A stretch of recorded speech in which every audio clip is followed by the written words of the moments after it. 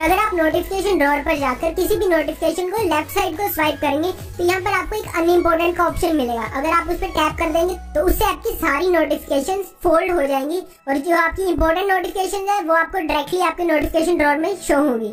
तो इस फीचर से आपका नोटिफिकेशन ड्रॉर कभी भरा नहीं रहेगा।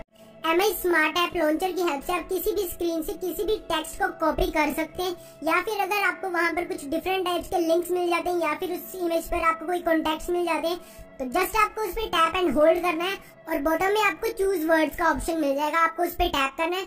और अगर आपकी स्क्रीन पर कोई कॉन्टेक्ट नंबर है, या फिर वेबसाइट है, या फिर कोई भी टेक्स्ट है तो आप उन्हें डायरेक्टली यहाँ से कॉपी कर सकते हैं, या फिर उन वर्ड्स को डायरेक्टली सर्च कर सकते हैं। और अगर कोई वेबसाइट है तो आप उसे डायरेक्टली ओपन भी कर सकते हैं। नेक्स्ट है स्प्लिट स्क्रीन मोड ये feature M I U I nine का काफ़ी हाईलाइटेड फीचर था तो अगर आपको कभी भी किसी दो एप्स को पैरेलली यूज़ करना है तो उसके लिए आपको रिसेंट एप सेक्शन में जाना होगा, और आप टॉप पर देख सकते हैं कि यहाँ पर आपको एक स्प्लिट स्क्रीन का ऑप्शन दिख रहा है। आपको सिंपली उस पर टैप करना है, और फिर आपको अपने फ़र्स्ट ऐप को ड्रैग एंड ड्रॉप कर देना है टॉप पर।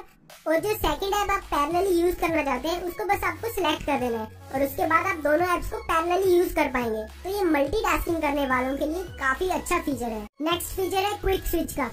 अगर आप मीनू बटन पर डबल टैप करेंगे तो आपका प्रीवियस रिसेंट ऐप ओपन हो जाएगा। तो ये भी काफ़ी यूजफुल ऑप्शन है।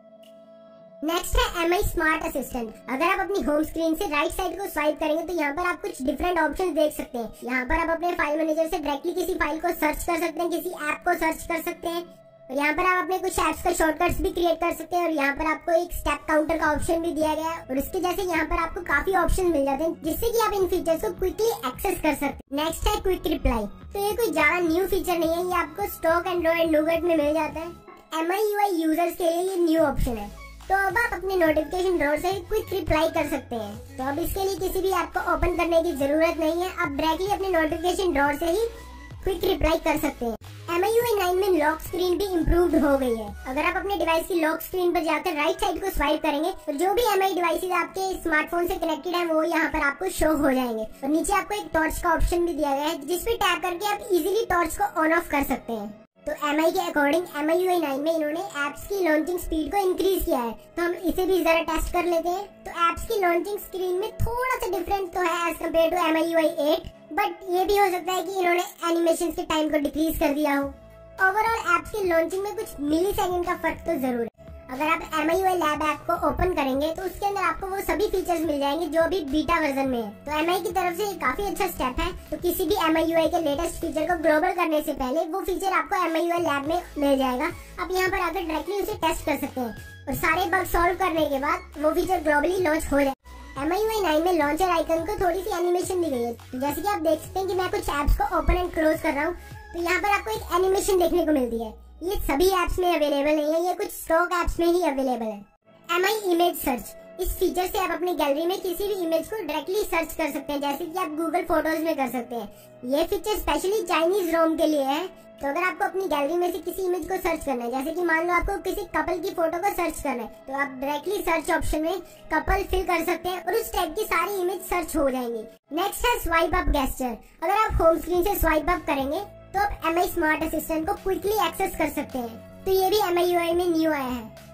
एम आई में अब आप होम स्क्रीन पर भी काफ़ी कस्टमाइजेशन कर सकते हैं। तो अगर आप होम स्क्रीन पर पिंच इन करेंगे तो आप होम स्क्रीन के एडिट मोड पर पहुँच जाएँगे। और अगर आपको मल्टीपल एप्स को किसी डिफरेंट पेज पर लेकर जाना है तो उसके लिए आपको एक एक ऐप को सिलेक्ट करने की बिल्कुल ज़रूरत नहीं है। तो जो ऐप आपको मूव करने हैं, आप उन्हें मल्टीपल सिलेक्ट कर लें। उसके बाद आप इन्हें डायरेक्टली ड्रैग एंड ड्रॉप कर दें, जिस भी पेज पर आपको इन्हें मूव करना है। और अगर आप किसी पेज की मूवमेंट को भी चेंज करना चाहते हैं तो अब आप वो भी यहाँ से डायरेक्टली कर सकते हैं। और अगर आप अपने लॉन्चर की ट्रांजिशन को चेंज करना चाहते हैं तो अब आप वो भी यहाँ पर कर सकते हैं। और ऑल स्पेक्स सेक्शन में जाकर आपके डिवाइस के सारे स्पेक्स शो हो जाएँगे। तो एम आई यू नाइन में अबाउट फ़ोन सेक्शन को एक न्यू लुक दी गई है। एम आई यू नाइन में सिक्योरिटी ऐप में भी काफ़ी चेंजेस किए गए हैं।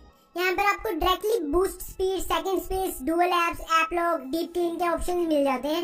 और जो सबसे बेस्ट चेंज इन्होंने सिस्टम ऐप में किया है, वो है मैनेज एप्स का। तो अगर आप मैनेज एप्स पर टैप करेंगे तो यहाँ पर आपको अपने डिवाइस के सारे एप्स शो हो जाएँगे। और अगर आप किसी ऐप की और डिटेल में इन्फॉर्मेशन जानना चाहते हैं तो आप सिंपली उस पर टैप करें और आपको उस ऐप की सारी इन्फॉर्मेशन मिल जाएगी। तो ये भी काफ़ी यूजफुल फीचर है। और अगर आप भी एम आई नाइन को यूज़ कर रहे हैं तो आपको पता होगा कि एम आई एट रोम काफ़ी हैवी थी। तो एम आई ने एम आई नाइन को काफ़ी ऑप्टिमाइज किया है, और ये लाइट भी है as compare to M I eight cash management और ऑटोमेटिक क्लीनिंग में भी काफ़ी डेवलपमेंट हुई है। और mostly recent four two five apps ही बैकग्राउंड में रन करते हैं।